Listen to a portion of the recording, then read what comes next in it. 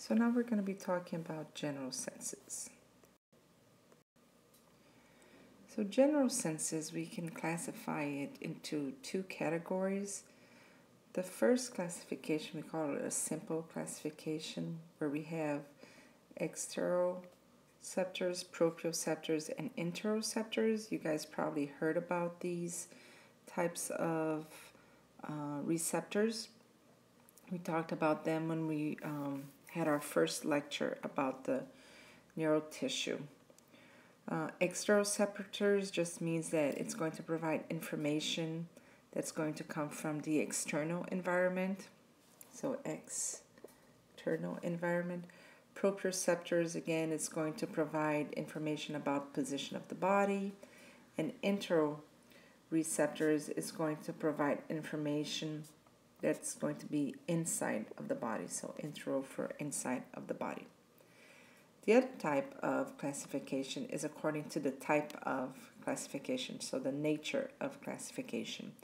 So we can classify it into nociceptors, thermoreceptors, mechanoreceptors, and chemoreceptors.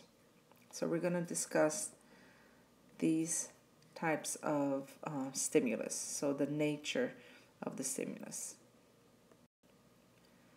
The first one that we're going to be talking about is the uh, nociceptors, or are the nociceptors. Basically, we have um, three different types of nociceptors. We have the receptors that are going to be sensitive to extreme temperatures.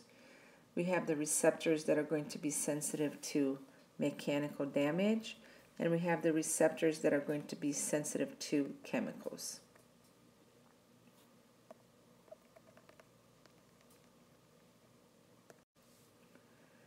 So as you can see, all these different categories, so extreme temperature, uh, mechanical damage, and chemical um,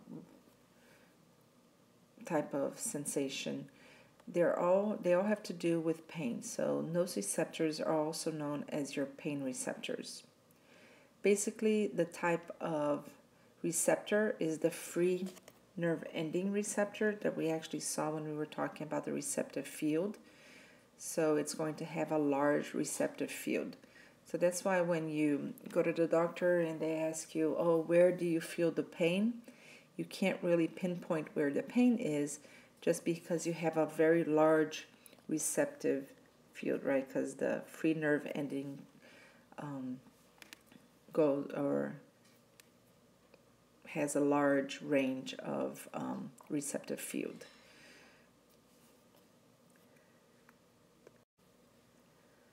We can also divide the nociceptors into the type of pain sensation that we feel. So we have two different pathways. We have what we call a fast pain and a slow pain. So fast pain and slow pain. So like, the name uh, says, fast pain means that it's going to go really fast. So it's a sensation that you're going to feel really fast. It goes directly to your central nervous system. And you can feel the sensation of pain really fast. And it's usually going to be associated with what we call a pricking pain or when you have cuts. That's what's um, the type of fast pain.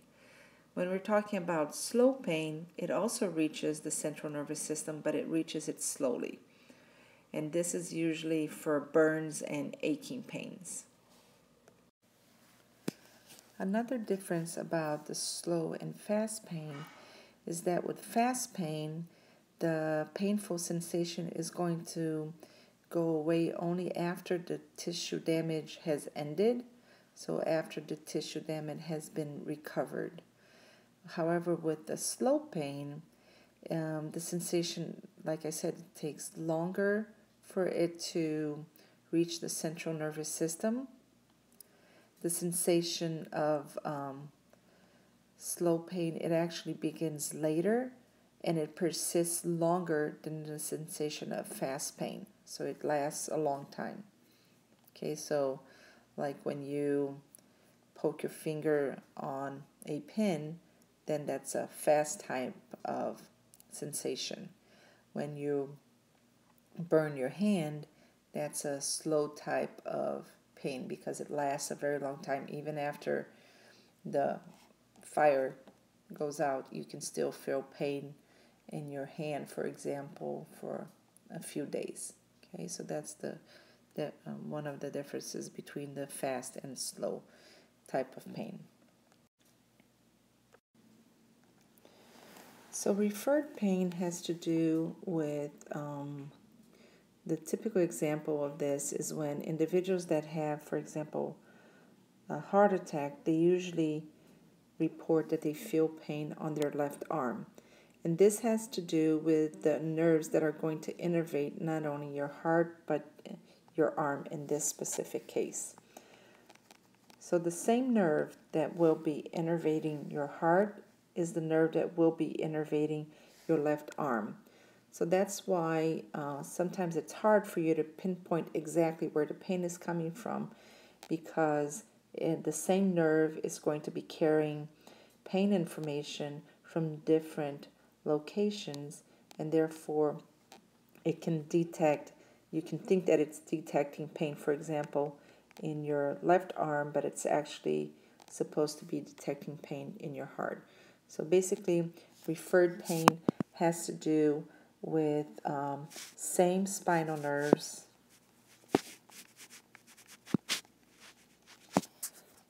That innervate the viscera and uh, surfaces of your skin. So it's referred to referred pain. And here you can see other examples. For example, your liver and your gall gallbladder is going to be innervated by the same um, nerve that innervates your right shoulder. So sometimes if you have a problem in your liver or your gallbladder, you might be feeling pain on top of your right shoulder. So that's all you need to know. Receptors. Now we're going to be talking about thermoceptors. So the thermal receptors, they're going to be located in specific areas of our body. So the dermis of the skin, the skeletal muscles, the liver, and the hypothalamus. This is a type of what we call a phasic receptor. So we talked about phasic receptor before. So this is why when you are outside, let's say here in Florida, and it's very hot and humid, and you walk into our classroom on some days and it's very, very cold.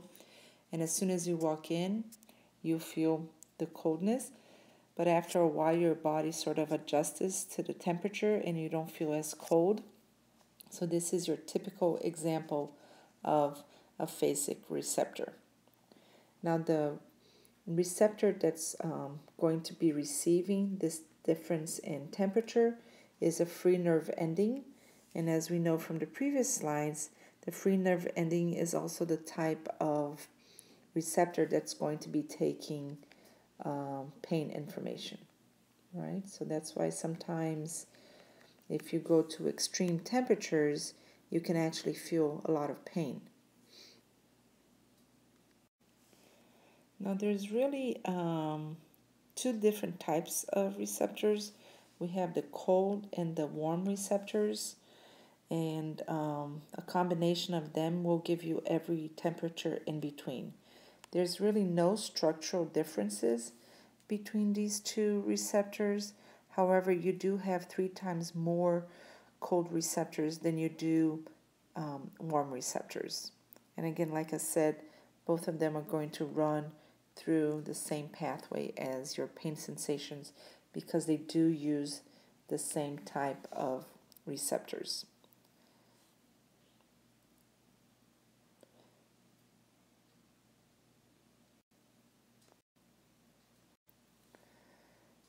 Your mechanoreceptors are the ones that are going to be sensitive to any type of distortion that occurs on your, uh, usually on your skin, but it can also occur in um, certain type of organs and also on joints and muscles. And basically, they're uh, examples of these um, distortions are things like when you're stretching your skin or you're stretching your muscle, you're compressing also your skin. You can be twisting certain types of um, um, body parts and anything that will distort the membrane of a cell or of your receptor is going to cause this type of sensation. We can classify it into three different types. We have what we call the tactile receptors, the baroreceptors, and the proprioceptors. We've been talking a lot about proprioceptors. So, proprioceptors, you guys should know by now. So, it's going to monitor the position of joints and muscles, and therefore, it's going to give us our position. And this is basically the most complex of the general sensory receptors. And remember that it combines the tonic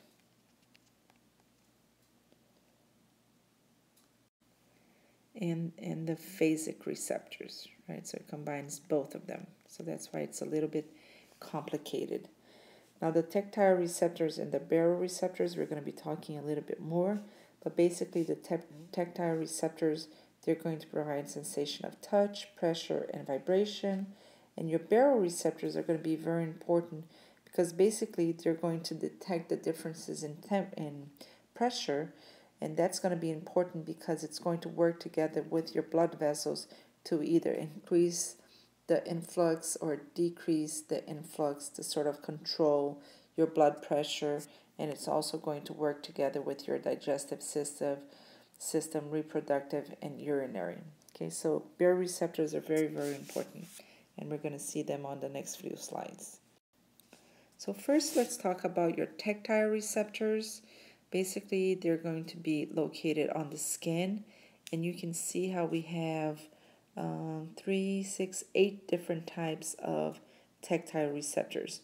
The ones that we've talked a little bit about are the free nerve endings, which have to do not only with your pain, so nociceptors, but also with your thermal, so controlling temperature, but it also controls touch. Okay.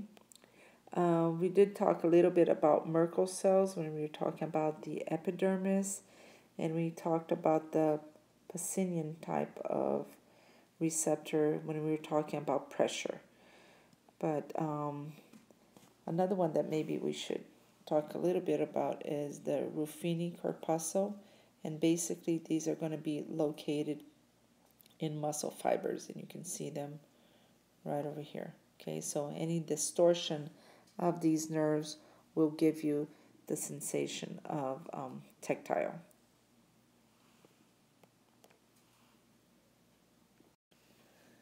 So here we have our baroreceptors. Like I said, your baroreceptors, they're going to be uh, stretch receptors that are going to monitor the changes in the stretch of organs. And uh, they're going to be located in your stomach. They're also going to be located in your small intestine. It's going to be located in your urinary bladder. It's going to be located in your carotid artery up here. It's going to be located in your lungs. And it's also going to be located in your large intestine. And um, like I said, and you can read over here what it's going to do, but basically it's going to control a lot of our vital functions and you guys can go over this table over here and make sure that you know um, the more um, or all the functions that occur in these specific baroreceptors. When we're talking about the sinuses that are going to be present here in the aorta and on your carotid artery, basically it's going to be an enlargement that we see, and we'll be able to see this when we talk about the cardiovascular system. So there's going to be an enlargement of these areas, and that's why we call it the carotid sinus and the aortic sinus. The last type of um, general senses is what we call the chemoreceptors. The chemoreceptors, they're going to detect um, small changes in the concentration of certain chemicals that are present in our body. They are going to be responsible to responding to water soluble and lipid soluble substances, and they're going to be found in uh, respiratory centers of the medulla oblongata, the carotid arteries, and the aortic arch. And if we move on to the next slide, we're going to see these um, centers. So you can see right over here your medulla oblongata, your carotid bodies, and your aortic bodies. So carotid bodies and aortic bodies are going to be exactly where we have the sinuses. So that's why it's important for these receptors because they, when we're talking about carotid bodies and aortic bodies, both of them are going to measure uh, pH changes, uh, partial pressure of carbon dioxide, and partial pressure of oxygen. So you can see how both of them are going to measure all three. And both of them are going to be important because they're going to via your cranial nerve number 9 and your cranial nerve number 10, they're going to trigger not only adjustments in your respiratory system, but also adjustments in your cardiovascular activity. Now, the medulla oblongata is a little bit different because it only checks um, your pH and your partial pressure of carbon dioxide. It does not check the partial pressure of oxygen. And in this case, it only adjusts the depth and the rate of respiration. So it has nothing to do with your cardiovascular activity. So basically, that's um, all we need to know about the general senses. And next week, we'll be talking about the special senses.